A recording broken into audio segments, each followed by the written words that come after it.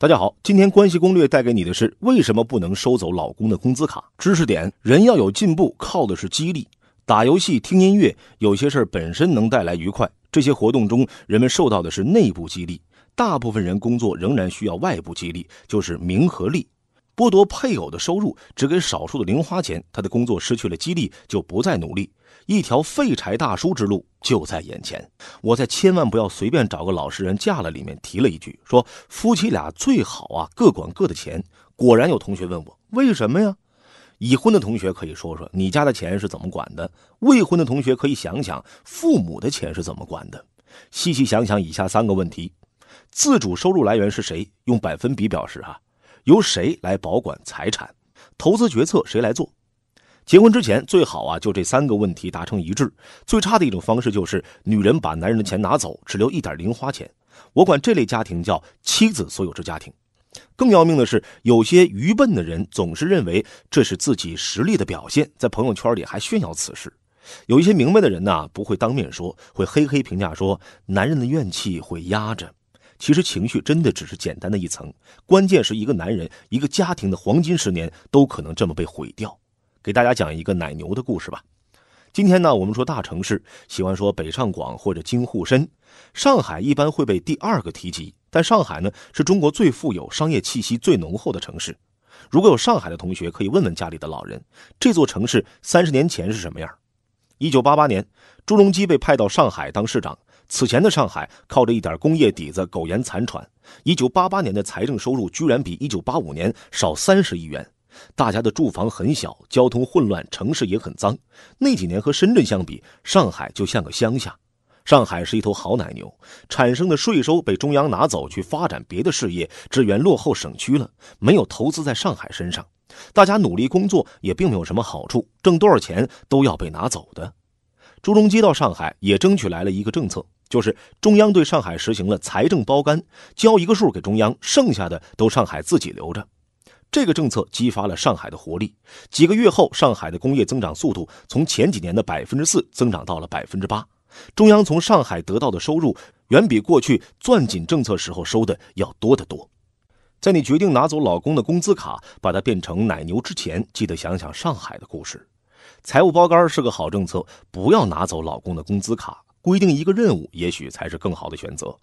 拿走他的全部工资，可能只有八千元，让他不思进取，十年后挣八千元划算，还是请他上交三千元，挣得多了都归他，让他积极加班接私活挣钱，两年后月入两万元，交给你一万元划算呢？如果老公是个领导干部，不花钱也不知道自己挣多少钱，那工资卡上交是可以的。如果老公是个工薪族，那一定不要这么做，不然后果很严重。一觉得不公的男人会厌倦工作，根本没有挣钱的动力。人需要激励，努力工作之后，一杯啤酒、一台最新款的游戏机都可能成为犒劳自己的很好的礼物。把一个人的收益全部剥夺，给一点早餐、午餐的钱，这是奴隶社会的做法。自由人比奴隶的效率要高得多。考古学家过去看金字塔，总觉得应该是多少奴隶用血泪换来的。后来挖出一个工人房的遗址，发现大家宿舍宽敞，还有娱乐用具，吃的也不错。努力工作这件事儿只能利诱，不能威逼。第二，缺钱会让男人无法完成必要的社交。一些同事出去吃饭的场合不请客没有任何问题，如果 A A 还觉得艰难，下次大家自然就不叫你了。如果是家庭有困难，大家一般呢都能理解。如果是媳妇儿家教太严，大多数人都会觉得你是一个沟通能力很差的人。怕老婆的同事更容易受欺负，不过也有例外。我知道有机关里出过这样的事儿，要把一个人派到高原上去工作，该人的老婆大闹一场，闹得领导也胆战心惊，只好换了另外一个软柿子拉倒。第三，缺钱会让男人养成一些不适合自己年龄特点的爱好，有些爱好是挺花钱的，比如玩手游、打牌、喝酒、供养活佛、盘手串；有的爱好就挺省钱。比如下棋，下象棋不花钱。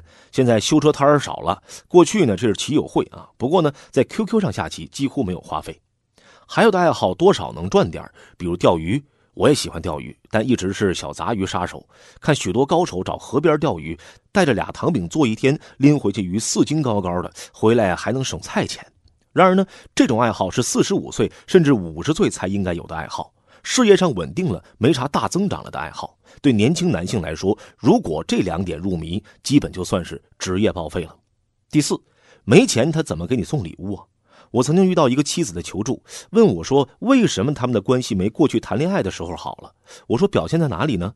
他说：“过去啊，节日他都送我礼物，现在都不送了。”我说：“那他的钱谁管着？我管着呀。那他哪里来钱呢？去抢吗？”确实啊，有一些工种专门给可怜丈夫准备的。我呢，有次遇见一个快车司机兼职选手，说工资啊是媳妇管着，晚上出来开快车挣零花，不想早回去，回去心烦。这婚姻呢，套用赵本山的话说，就是再发展下去就是植物人哎，这里要多说一句，夫妻之间的很多问题是可以靠钱解决的，钱在他手里，你可以定规矩。我知道有的企业工资很高，但是犯错了要扣绩效，要求又苛刻，很多人都拿不到全份工资。第五，控制欲出战争，钱能买和平。对男同学来说，我也鼓励你们一定要把钱拿在手里。有的人不善理财，或者畏惧自己的老婆，其实钱的妙处很多，比如婆媳矛盾无法根治，除非丧母、丧妻或者离异。不过钱是缓解婆媳关系的好东西。我经常说，婆婆和媳妇儿有矛盾，要让一方得面子，一方得实惠。你月入两万，把工资卡交给你媳妇儿，然后对她说：“不许你这么冲我妈吼。”她会听你的吗？如果你手上有钱，啊，今天受委屈，辛苦了。上次看见那件九千多的大衣，明儿咱们过去买下来。人能改变吗？当然能了。觉得难？谁告诉你说服只能用嘴的？用钱更好吗？注意啊，女人要攥住钱的错误思想是从哪里来的？复盘一下自己的初恋吧，是小学高年级还是初中？校园里的恋爱，大多数情侣都会自己花自己的钱，有的时候会通过礼物这种方式产生经济联系。小时候不追求控制的女性，为什么会突然决定控制男人的金钱了呢？错误思想不是从天上掉下来的，它一定是受了一些影响。A. 父母，父母的管钱方式会影响子女，所以如果你的女朋友建议结婚后把工资卡交给他，恭喜你，可能会迎来一个强势的丈母娘。大多数女性都已经知道抵制男妈宝了，但女妈宝的危害，大多数人还无法理解。有的男生喜欢这种女妈宝，尊称为乖乖女。认为这样的女性性经历可能会更少。其实妈宝不分男女，因为背后站着的都是同样苛刻的妈妈。大多数主张女儿接管工资卡的丈母娘都算着这笔账。管钱能减少婚姻崩溃的概率，就算崩溃了，女儿手上也还有一笔钱。B 朋友。同龄人之间呢，往往也会互相攀比，看谁对老公的管理能力强。有些女性呢，会把这种闲谈太当真。要知道，有些人是会吹牛的。如果真用某些管理经验去对付自己老公，婚姻质量会迅速下降，最终走向崩溃。无论是父母还是朋友，提出这个提议的女性，大多数都是容易被忽悠的人。这种人有些是社会经验不足，但大多数是性格里就有缺陷。到中年后被忽悠信各种奇宗怪教，老年后买各种保健品传谣信谣的，总是这批人。如果有好的家庭背景或者工作平台，容易被忽悠的人也能有比较高的经济地位或者社会地位。不过大多数人都处在社会的底层，受教育程度很低，收入也很低。换句话说，非要你的钱，说明她见识上比较 low，受教育程度高、家庭背景也好的女人，很少会追求控制丈夫的收入。其实啊，可以参考的是中年人和老年人的再婚或者续弦。我经常对大家说，要做人际关系上的成年人。